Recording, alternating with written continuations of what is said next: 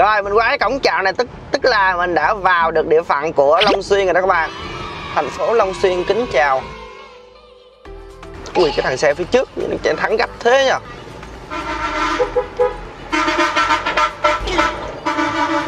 rồi các bạn thấy thằng xe tải nó chạy ẩu không? Nó vô làng xe máy nó chạy luôn kìa. Ôi nó vượt kìa. Cái đường nó rất là đông xe.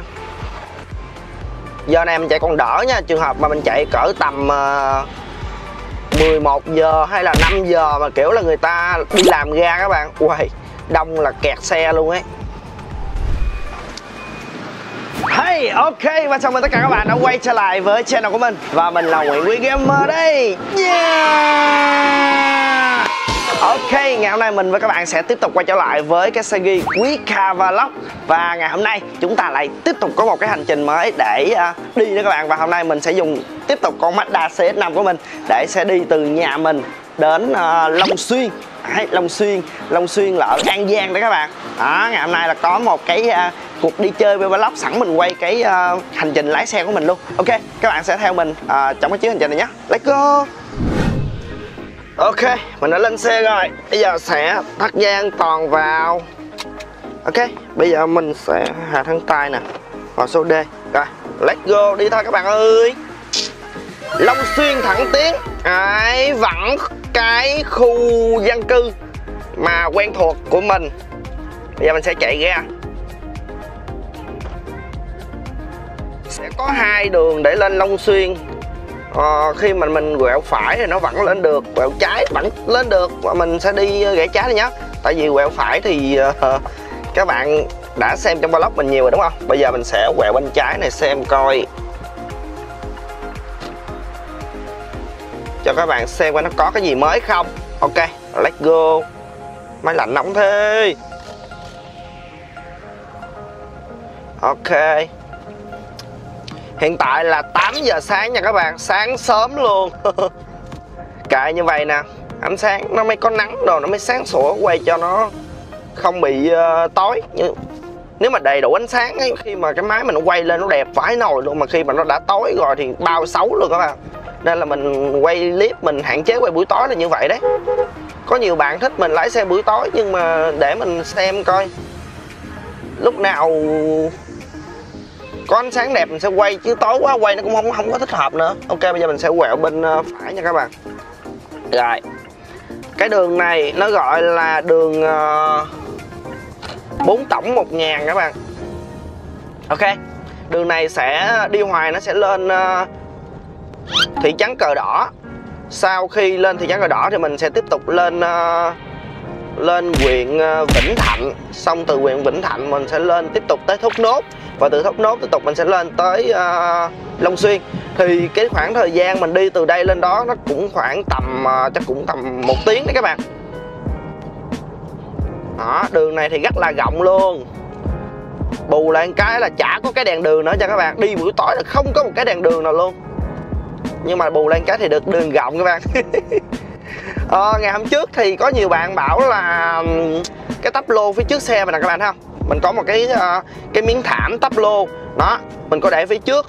Thì thật ra cái miếng thảm này uh, thứ nhất ấy là nó sẽ công dụng nó dùng để giảm nóng cho cái chiếc xe của mình. Và thứ hai thì kiểu là mình để đồ cho nó ấy, nó không bị trơn trợt như là cái uh, cái miếng da ở dưới này. Đó và đặc biệt nó cũng sẽ bảo vệ hơn một tí cho cái uh, da của mình. Mình không biết nó có bảo vệ không nhé mình cũng chưa rõ cái vấn đề mà nó có bảo vệ được cái cho chất lượng da mình hay không. Đó nhưng mà nó sẽ giảm nóng giảm nắng đâu các kiểu. Nó cho cái tắp lô. Nhưng mà nhiều bạn bảo là cái miếng uh, thảm này nè nó sẽ làm ngăn cản cái uh, túi khí của cái chiếc xe mình bên phụ các bạn. Mình cũng chả biết cái túi khí bây giờ bên phụ nó nằm ở đâu luôn. Nhưng mà mình có lên trên một cái group CS5 mình đã hỏi rồi. Thì uh, thật ra cái miếng thảm này nó không có đủ cái trọng lượng để có thể là à, ảnh hưởng đến cái túi khí bên phụ. Không đủ trọng lượng nha các bạn tức là nó không có đè xuống quá ấy. cái túi khí bung lên nó vẫn bung được. Đó. Nhưng mà vẫn có một số ý kiến trái chiều bảo là gắn cái tắp lô lên nhìn nó xe nó xấu. Đó thì mình cũng không biết như thế nào. Các bạn thấy mình gắn cái tắp lô trên xe như thế nào? Thì các bạn nếu mà muốn mình gắn thì các bạn comment ở dưới. Còn các bạn không muốn thì các bạn cũng comment ở dưới thì mình sẽ gỡ ra. Đó các bạn thấy như thế nào là bạn comment ở dưới nhé còn đây là cái cục uh, một cái cục um, đo áp suất lớp các bạn. Mình mua cục này 3 triệu mấy hay gì đấy mình nhớ không lầm là 3 triệu mấy. Để coi á, lớp mình có bị uh, thiếu áp suất hay là kiểu là nó bị xì hơi hay kiểu là lũng bánh các kiểu gì đấy thì nó sẽ báo. Ui có một con xe khách kìa đó là con uh, Hyundai dừng nằm. Con này như là Hyundai ba cục hay sao ấy đó là nhà xe ban ngăn uh, tuyến cờ đỏ Sài Gòn cũng khá là nổi tiếng khu vực mình. Bạn nào ở cờ đỏ mới biết cái ờ, nhà xe đó thôi. Đây nó có một cái cua rồi các bạn thấy không?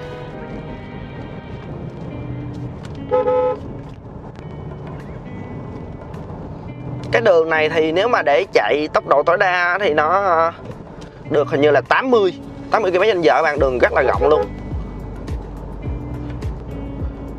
Ok qua cái cầu này nhá.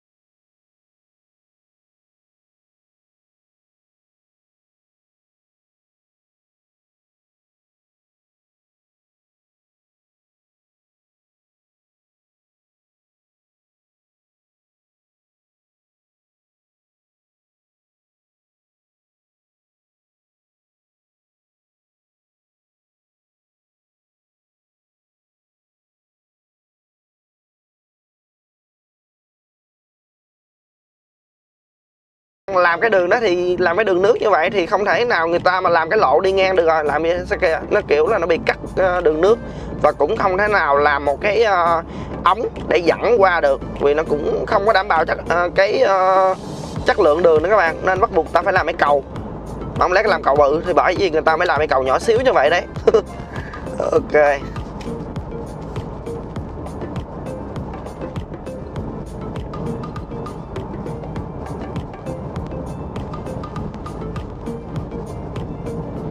Các bạn đi nãy giờ các bạn đi không? Không có một cái đèn đường nữa chứ các bạn.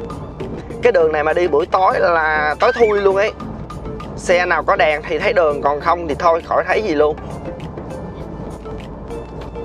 Ui, cái gì mà bạn Innova nhá đèn đây? Cái gì đây? Sao chú Innova nhá đèn mình ngoắt ngoắt tay đây? Không lẽ phía trước chúng ta có một số chú sao? Ok, chúng ta vẫn ờ, chạy ờ, đúng luật là được.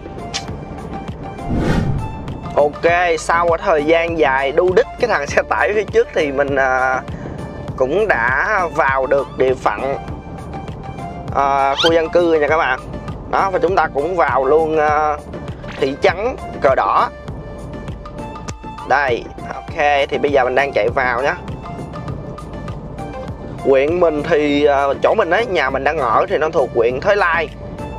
Còn huyện cờ đỏ thì nó cũng nằm cũng gần gần chỗ mình mình kiểu như kiểu là giáp ganh vậy đấy các bạn. Nhưng mà mình thấy kiểu là trên này nó còn vui hơn quyền cờ đỏ nó còn vui hơn cái quyền thái lai mình rất là nhiều. Chỗ này nó nhiều quán nè nhiều địa điểm vui chơi nè quá là nó nhộn nhịp hơn các bạn. Ui, đây, cái trường học nè, các bạn. Ủa, cái gì mà phụ huynh đông dữ vậy?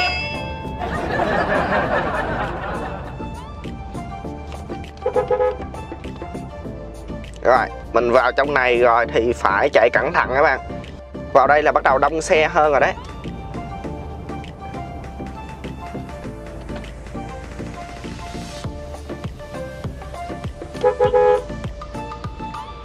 Từ từ thôi.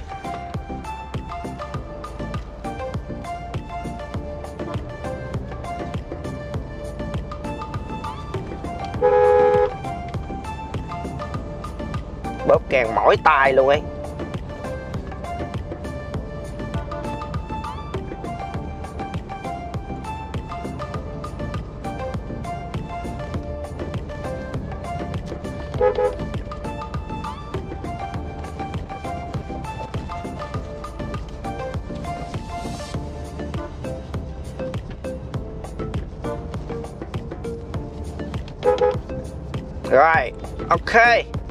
Đây các bạn. Đây là cái tuyến đường chính Ở ờ, chợ cờ đỏ. Đó, đẹp không? Nó đang làm đèn rồi các kiểu các bạn. Cái này mà buổi tối đi nó mới gọi là đẹp. Bên trái này sẽ là một cái bến xe ở cờ đỏ nha các bạn. Một cái bến xe khách. Còn bên phải này là bắt đầu vào chợ cờ đỏ nè. Đó, chợ nhà lòng cờ đỏ rồi các kiểu đấy. Còn mình đâu có vào cờ đỏ làm gì nên mình sẽ chạy thẳng. Đấy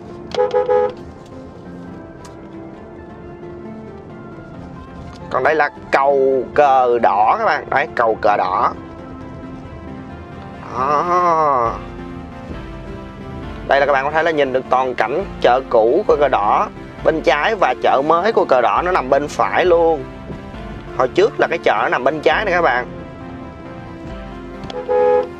Và bạn nào ở Cần Thơ ấy thì các bạn sẽ biết được một cái câu thơ mà khá là nổi tiếng về chợ cờ đỏ này. Đó là người ta gọi là chợ cờ đỏ tuy nhỏ mà đông. Ấy tức là cái chợ cờ đỏ này hồi xưa nó rất là nhỏ nhưng mà là một trong những cái chợ mà đông khá là đông ở Cần Thơ này luôn. Nên là hồi xưa mình học uh, mình đi học ấy là giáo viên mình có dạy một cái bài đó như vậy. Ok bây giờ mình đã rời khỏi uh, chợ cờ đỏ rồi. Mình sẽ tiếp tục hành trình đi lên huyện Vĩnh Thạnh.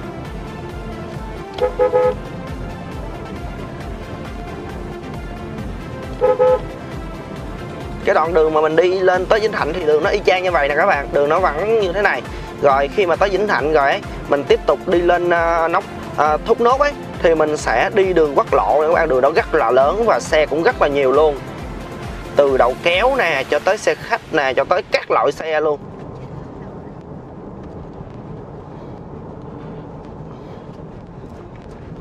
Đây là khu uh, hành chính của uh, cờ đỏ nha các bạn. Rất là rộng lớn luôn. Nó gọi là nguyên một cái khu dân cư kiểu là cái khu hành chánh của quyền cờ đỏ ấy. Bự lắm.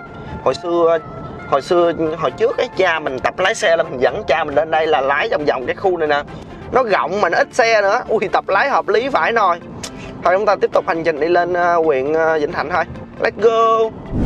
Ok hiện tại thì mình đã đến được uh, tới uh, huyện à, Vĩnh Thạnh này các bạn. Đây. Nói chung thì cái huyện này mình không biết nó chỗ mình đi nó đã ngay trung tâm chưa nhưng mà mình thấy nó khá là vắng vắng vẻ luôn các bạn. Bên này thì có một số cái uh, chỗ làm việc nè nhưng mà mình không thấy nó nhộn nhịp gì cả. Đó thì um, chạy qua nhẹ nhàng cái là xong rồi. Tại bên này là nguyên cái khu hành tránh của nó nè. Cũng mình nghĩ cũng khá là lớn đấy mà mình nghĩ chỗ này nó chưa gọi là ngay trung tâm của huyện Vĩnh Thạnh đâu. Mình cũng không rõ cho lắm. Là mình chưa thấy có cái sự mình kiểu là như là chợ ấy.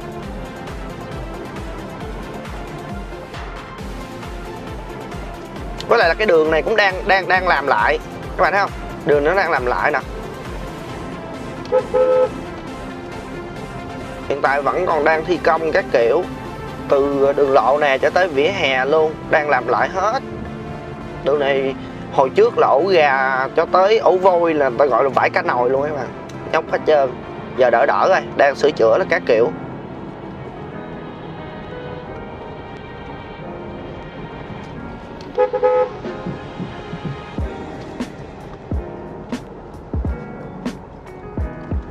Nó nguyên đoạn này nó thi công lại hết các bạn.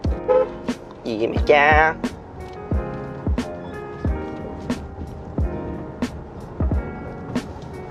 Rồi ở phía trước mình sẽ là cái uh, ngã ba.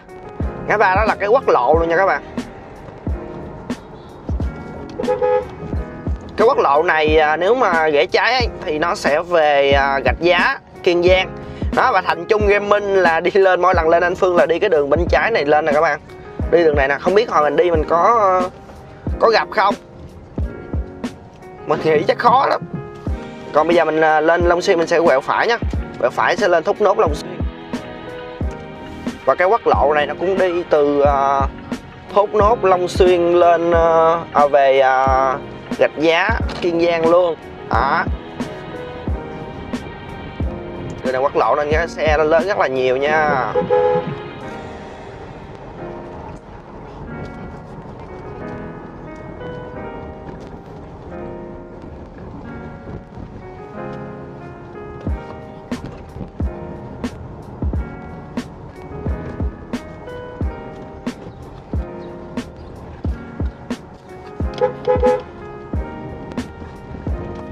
Quá trời ổ gà đúng các bạn ơi cái đường này mình nghĩ là sắp tới là nên làm lại các bạn.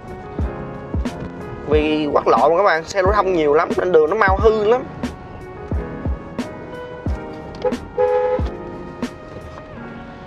Chạy đường này phải cẩn thận các bạn.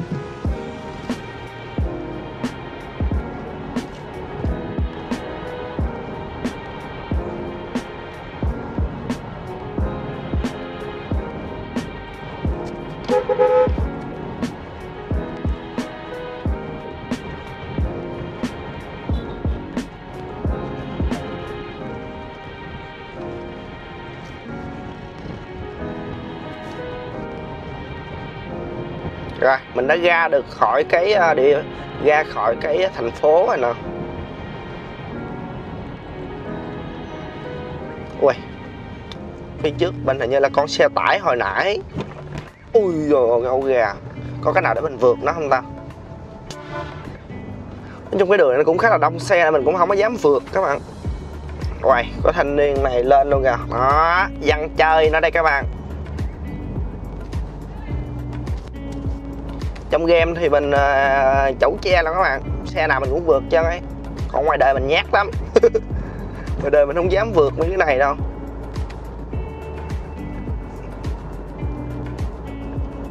Chừng nào mà kiểu là đường nó rất là trống luôn ấy mình mới vượt thôi. Để mình coi coi có trống xe chưa.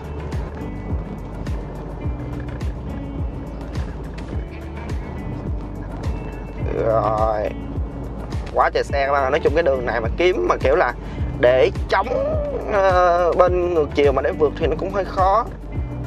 Bây giờ nó cũng hơi chống chống rồi nè có nên vượt không ta? Chắc vượt luôn đi ha. Ok qua mặt luôn let's go. Rồi mình sẽ quay phải vào. Rồi như vậy là mình đã vừa vượt qua được cái chiếc xe tải rồi đó, các bạn thấy đường nó trống chưa? Bây giờ đường trống, các bạn dễ nhìn được rồi đó.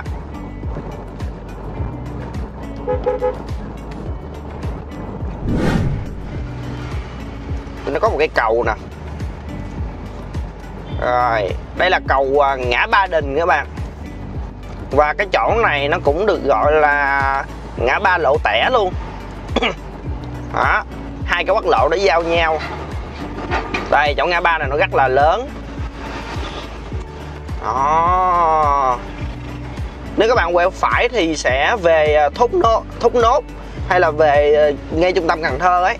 Còn bây giờ mình sẽ rẽ trái thì nó sẽ về long xuyên. Long xuyên thì nó sẽ thuộc uh, an giang rồi các bạn tỉnh an giang rồi. Long Xuyên nó cũng là thành phố nha các bạn. Đây mình sẽ ghẹo bên trái mình coi bên này đông xe không? Ui, có chiếc Ford Transit Rồi, mình sẽ nhanh phải xin qua các bạn. Cái gì đây Rồi, ok. Quá trời đông xe. Chỗ này nó cũng có một cái chạm ờ, thu phí. Cái chạm thu phí này là cái chạm thu phí ờ, hồi trước nó có thu nhưng mà bây giờ nó đã dừng rồi các bạn nó thu ở đây một cái chạm là đầu à, đầu à, ở đây một cái chạm nè và ở dưới chỗ mà đường mà mình à, hay đi lên Cần Thơ đó các bạn nó cũng có một cái chạm nữa. Là nó có hai đầu như vậy đấy. Nhưng mà nó chỉ bây giờ nó chỉ thu cái đầu dưới kia thôi. Còn cái đầu thu phí trên này thì bây giờ nó không còn thu nữa. Đây bây giờ mình cứ chạy hoài lên khoảng hai ba cây số gì nữa đấy. Mình nhớ không nhầm là như vậy là chúng ta sẽ đến được uh, thành phố Long Xuyên rồi. Đường này nó rất là đông xe nha các bạn và nó chỉ có hai làn thôi. Một làn ở giữa, một làn à, mình đang chạy nè, là làn cho xe lớn. Tất cả các loại xe lớn luôn, từ 4 chỗ trở lên và cái làn ở trong cùng ấy, là làn dành cho xe thô sơ.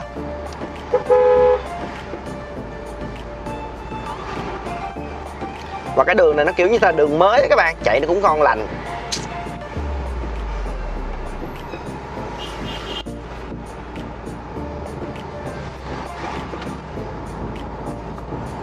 Qua một cái cầu khá là lớn luôn. Ok.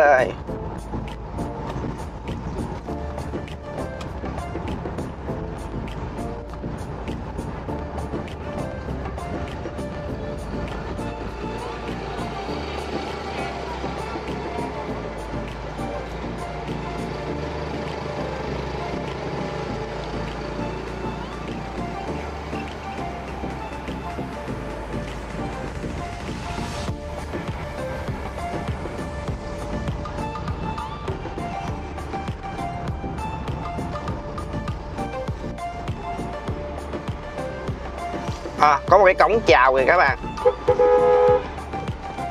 Có cái cổng chào mới cái cổng này như là mới làm hay sao ấy. Thành phố Long Xuyên kính chào à. thấy rồi mình qua cái cổng chào này tức tức là mình đã vào được địa phận của Long Xuyên rồi đó các bạn. Thành phố Long Xuyên kính chào. Ui cái thằng xe phía trước nó chạy thắng gấp thế nhỉ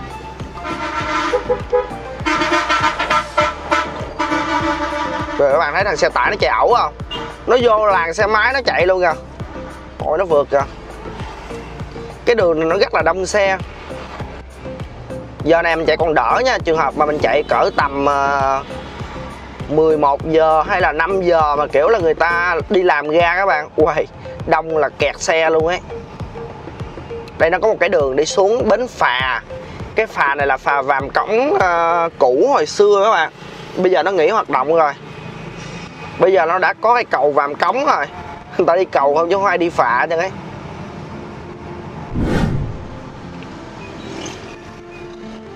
Ừ. cái gì vậy? Sao dừng lại nữa rồi? Đừng bảo kẹt xe phía trước nha các bạn. Khổ ghê, giờ này mà kẹt xe đó là toan luôn ấy. Ui, mà nhìn phía sau mình cũng kẹt một phía sau mình cũng một đống xe chứ phải ít đâu các bạn. Rất là nhiều xe luôn rồi mình biết nguyên nhân dừng xe rồi. Cái thằng ông nội xe ben đó kìa. Ông chạy đâu ông cản đường các bạn giờ làm kẹt xe luôn.